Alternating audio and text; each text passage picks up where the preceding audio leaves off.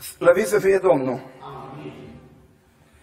Față de prietenul meu Mihai, care m-a invitat, dar și față de dumneavoastră, eu mi-am făcut partea. L-am invitat pe fratele Ștefan, care e prieten cu mine, și dacă el a predicat frumos, am și eu meritul meu, că l-am chemat la dumneavoastră. Nu vă mai sunt dator. Am negociat aici cu fratele Petric, el spunea să predic mai mult, eu nu vreau să predic așa de mult. Ă, slujba de binecuvântare e foarte importantă. Că binecuvântarea e un lucru mare. De aceea toate detaliile sunt importante, toate amănuntele de la o slujbă sunt foarte importante. Și cântarea, și predica, și rugăciunea. Dar eu cred că cel mai important lucru și cel mai mult doresc ca în seara aceasta însăși Domnul Iisus să ia copiii în brațe și să-i binecuvinteze. Doamne ajută-ne în aceasta. El s-a angajat, s-a oferit, el s-a oferit. El spunea, Domnul a vorbit lui Moise și a zis, vorbește lui Aron și fiilor săi și spune-le, așa să binecuvântați pe copiii lui Israel și să le ziceți, Domnul să te binecuvinteze și să te păzească, Domnul să facă să lumineze fața lui peste tine și să se îndure de tine, Domnul să-și înalțe fața peste tine și să-ți dea pacea. Astfel să pune numele meu peste copiii lui Israel și eu îi voi binecuvânta, a zis Dumnezeu. S-a angajat. Știți, în lucrările astea de administrație publică să fac licitații, negocieri, să deschide un caiet de sarcini și ăla care își oferă serviciile trebuie să prezinte cât e de potent, cât e de puternic, că dacă s-ar face, dar nu cred că se face o autostradă de aici, de la Vico până la Timișoara, eu nu mă pot prezenta cu un târnăcop și cu o robă, nu? Nu mă primește nimeni acolo, cine ești, măi? Trebuie să fii puternic. Acum cineva s-a oferit că dă binecuvântare. Și m-am uitat la acest cineva. Poate să dea binecuvântarea? Cel care s-a oferit că binecuvintează îi Dumnezeu. Ce credeți? Poate Dumnezeu să binecuvinteze? Și mă rog să o facă în seara asta. Amin? El are mai multe nume în Scriptură. Dar odată Iacov sta de vorbă cu băietul său, cu Iosif, în Genesa 48, cu versetul 3 și spunea așa, Domnul cel atotputernic, ni s-a arătat la luz și m-a binecuvântat. Știți care e unul din numele lui Dumnezeu? Domnul cel atotputernic. Toată puterea din universul ăsta e concentrată în mâna lui Dumnezeu. Bine, el a făcut un transfer când a venit Domnul Matei 28 și a spus, toată puterea mi-a fost dată în cer și pe pământ. Și apoi Domnul ne spunea la cel de la bivolărie, spunea, și voi veți primi o putere când se va coborâ Duhul Sfânt peste voi. Eu cred că Domnul are putere să binecuvinteze. De aceea îl rog smerit. Doamne, binecuvintează copilașii aceștia. Doamne, binecuvintează mamele acestea. Binecuvintează tațe și binecuvintează adunarea. Știți, în Matei 19 cu, cât, cu 26, Domnul vorbea cu ucenicii și spunea, ceea ce la oameni este cu neputință, la Dumnezeu toate lucrurile sunt cu putință. Îl rugăm să dea binecuvântare. Știți, în uh, cartea Genesa, acolo stau de vorbă trei oameni odată cu, cu Avram. Unul continuă să stea de vorbă cu, Ava, cu Avram, doi se duc înspre Sodoma să vadă ce se întâmplă acolo. Și îi spune, la anul pe vremea asta, în uh, capitolul 18, Sara va rămâne însărcinată, va naște un copil, ea râde în dosul cortului. Și versetul 14, îngerul îi spune, nimic nu este prea greu la Domnul. Hai, vă provoc în seara asta, căutați un lucru bun care e prea greu pentru Domnul. Este o boală prea grea să nu poată vindeca Domnul? Este? Nu este, că nu e nimic prea greu. Este unul prea sărac să nu-i poate da Domnul bucata de pâine? Nu este. Este unul prea păcătos, prea vinovat, să nu-l poate ierta sângele Domnului? Nu este. Nimic nu-i prea greu la Domnul, că Domnul are putere. Și El s-a oferit să binecuvinteze. Și mă rog încă o dată, Doamne, binecuvintează. Dacă am Vorbi de binecuvântarea rostită, Domnul să te binecuvinteze și să te păzească. Dacă vorbim de ocrotirea lui Dumnezeu pe diagrama asta numită timp, ea este pentru noi o permanență. Isaia 27 cu 3. Eu o păzesc în fiecare clipă. Am observat mame, care mamă nu-și păzește copilul? Care mamă nu are grijă de copil? Și totuși, o clipă de neatenție. Odată spunea cineva, mergeam cu copilul la școală, frate Draguș, îl țineam de mână, s-o smurs de mâna mea și s-o lovit într-o mașină. Și îl țineam strâns, o clipă de neatenție. Ei, care mamă îngrijește de un copil, stă noaptea, veghează asupra lui și adorme câteodată. Și adorme și se întâmplă ce nu trebuie să se întâmple. Dar în Psalmul 121 spunea, cel ce păzește pe Israel, nu dorme. El să păzească copiii ăștia în permanență. La noi, sora Valeria Eremia, au vrut 10 copii și spunea odată, măi, Spălam niște rufi, cum era la început, spălam niște rufi afară, într-un vas și îl avem pe băiatul ăsta, Costică, care acum e în comitetul adunării. Și, și cum eu pă, spălam așa rufile, cum se spălau înainte, și deodată așa primesc un cuget, mă întorc înapoi. Băiatul meu de vreo 2 ani de zile căzuse cu capul în jos într-un, într-un vas mare cu apă și nu m-a dat din picioare. L-am smuls și a rămas acolo. Cine a spus să se întoarcă înapoi? Că putea să spune mai departe, nu? Și spunea, măi, numai Dumnezeu m-a dat gândul ăsta. Cel care păzește pe Israel nu doarme și nu dormitează. Fie dar ocrotirea Domnului peste ei. Amin?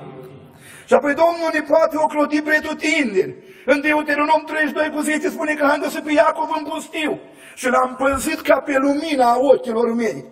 Să aibă Domnul grijă de copiii ăștia și să-i păzească. Amin?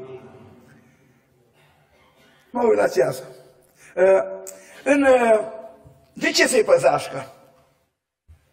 În Ezra, uh, capitolul 8, versetul 21, se punea de o mare călătorie. Și acolo scrie așa, acolo la râul Ahab a vestit un post de smerire. Cineva comenta versetul ăsta, spunea că robii au cerut un post de smerire. Robii, nu stăpânii că robii care erau smeriți mai aveau nevoie să smerească și ei. Ca Domnul să ne dăruiască o călătorie binecuvântată, ne-a fost rușine să cerem de la împăratul oaste de însoțire. Pentru că îi spusesem că Dumnezeu va fi cu noi. Ezra era mai iscusit în vorbă ca noi, era călăturar. Se prezintă în fața împăratului, împăratul depistează că ceva nu e bun cu el. Și spune, împărate, dăm voie să mă duc în cetatea părinților mei acolo. Și capătă învoire. Ezra o vorbi de puterea lui Dumnezeu, o vorbi de minunile lui Dumnezeu, o vorbi de ce are Dumnezeu mai glorios.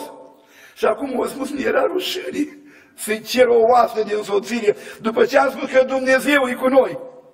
Dar au făcut un lucru. Am vestit un post de smerire ca Domnul să ne dea izbând în călătorie. Și când au plecat înspre Ierusalim, aveau valori mari cu ei. Și le spunea acolo, fiți cu ochii în patru la toți oamenii aceștia care au plecat. Înseamnă responsabilitate. Voi părinți, părinții acestor trei copii, sunteți în călătorie și aveți niște valori extraordinare. Voi fiți cu ochii în patru. Dar vine versetul 31, spune, am ajuns la Ierusalim. Și acolo mulțumit Domnul că ne-a păzit de loviturile vrășmașului. Vrășmașul vrea să lovească în copiii noștri, în familia noastră. Știi de ce? Că avem valori.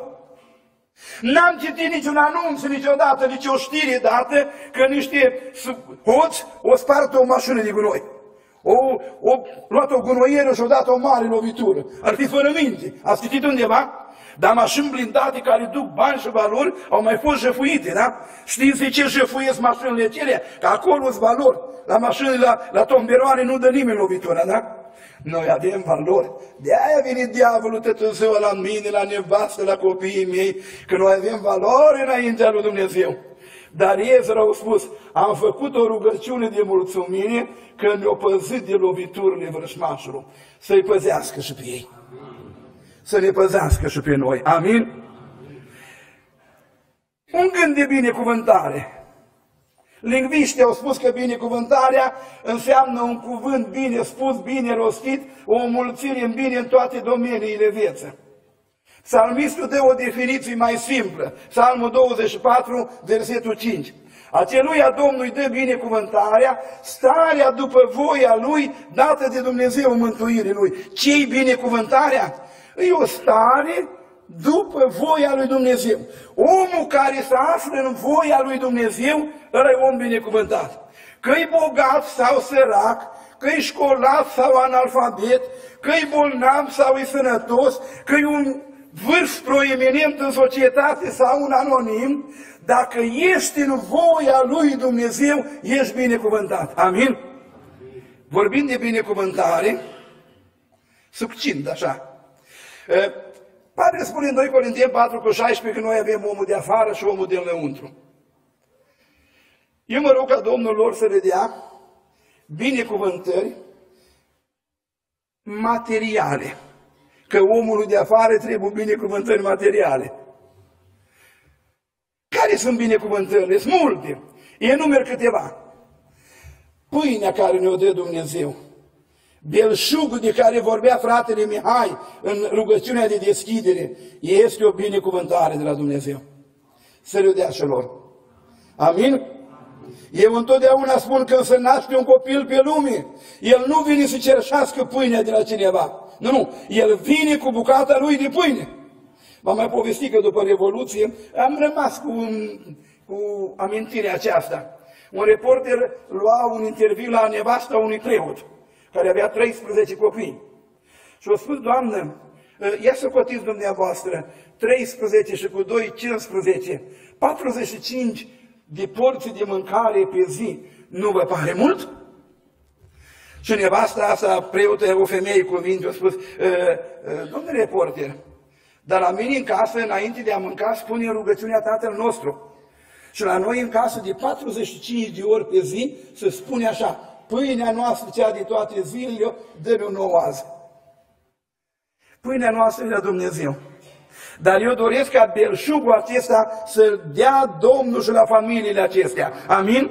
Binecuvântare, dacă vreți, în uh, Exod 23 cu 25. Dacă vei asculta de glasul Domnului Dumnezeul tău, eu voi binecuvânta pâinea și apa și voi îndepărta boala. Sănătatea e o binecuvântare.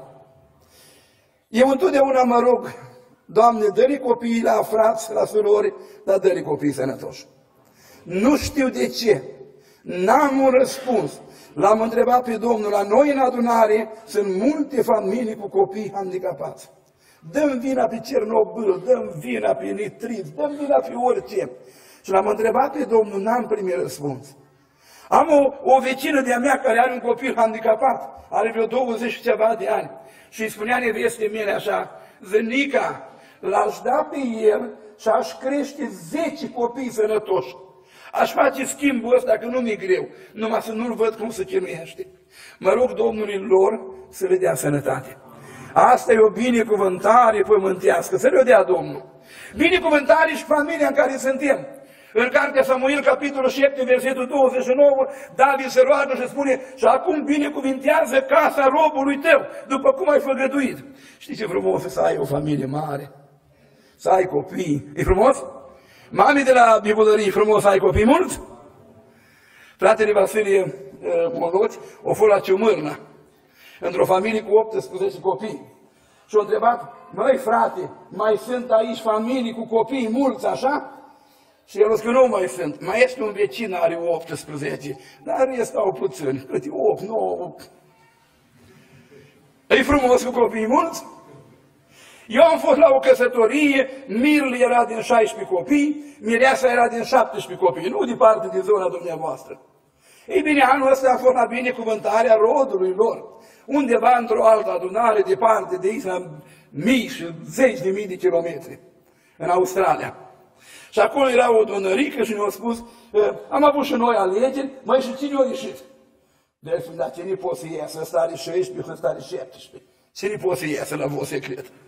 Și asta e o binecuvântare, mai fraților. E o binecuvântare. Să ne dea Domnul, nu? Psalmul 128, versetul 4. Așa este binecuvântat omul care să teme de Domnul. Îi, copiii sunt o binecuvântare? Îi primiți așa?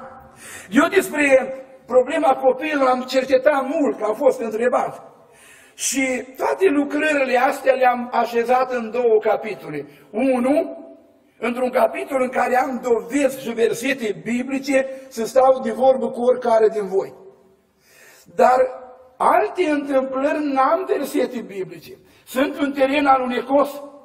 În Matei 22 cu 29, Domnul spune așa, vă rătăciți că nu cunoașteți nici Scripturile și nici puterea Lui. Sunt lucruri care nu le pot încadra în Scripturi, eu le pun în puterea lui Dumnezeu. Vă povestesc numai ceva. În luna august anul ăsta am fost la o nuntă în Ardeal. Dimineața a fost căsătoria, seara a fost evangelizarea, mirele și mireasa au și la evangelizare, a spus, mă, am să vă predic peste tot, mă. O, că, o spus Miri, hai te mai repede, mergem la adunare, că o să fie frumos. Și a fost frumos. Când s-au gătit slujba, eu de la Simeria, acolo eram, trebuia să vin acasă. Să uite omul de ori, nu mai treabă, tu n-ai farul la mașină. Și trebuia să vin toată noaptea, un pic eram năcăjit. Vin un frate, spune, stai liniștit, eu sunt electrician, am avut, am service, trage la mine acasă repede.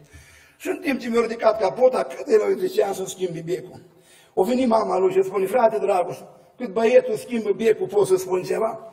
Spune, sor. Spune că eu am, nu știu cât mi-a spus ea, 12 copii. Dar într-o seară am avut un vis. O familie de aici, de la noi, din adunare, era cu un cărucior, cu un copil mic.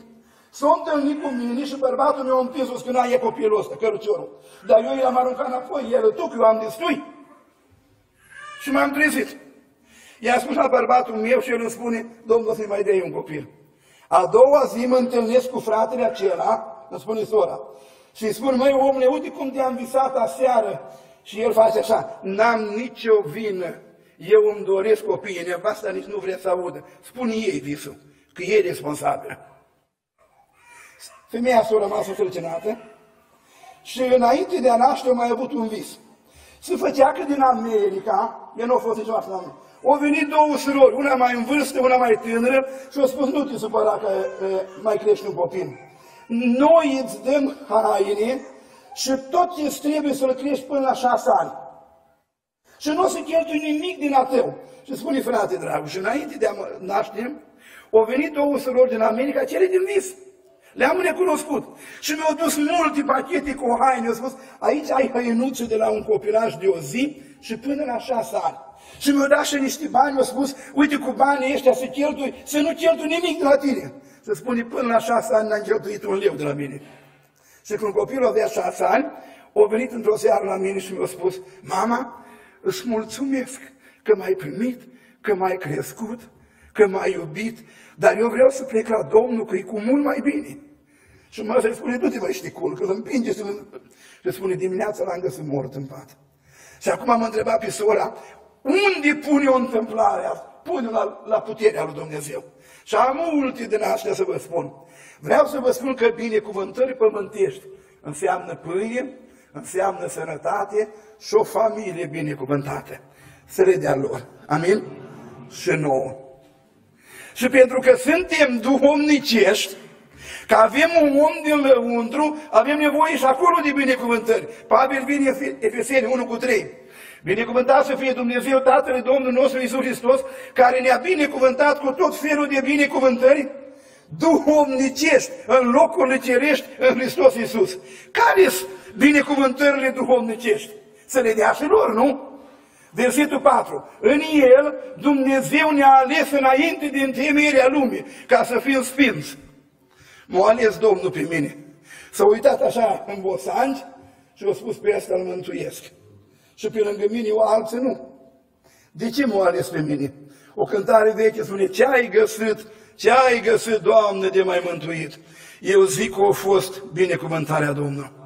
Să scrie și numele lor în cartea vieții.